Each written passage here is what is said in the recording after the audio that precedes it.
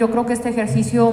va a ser muy importante para lograr eh, pues un, presupuesto en conjunto, un presupuesto eh, técnicamente viable, financieramente viable, porque pues las dos cosas tienen que ser ir de la mano y pues todos juntos poder armar algo o por lo menos tener claro hacia dónde podemos ir.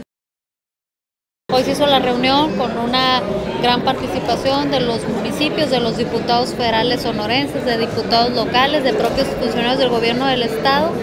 y bueno, creemos que se avanza en la coordinación, en un ambiente de mucha cooperación y a donde a todos nos une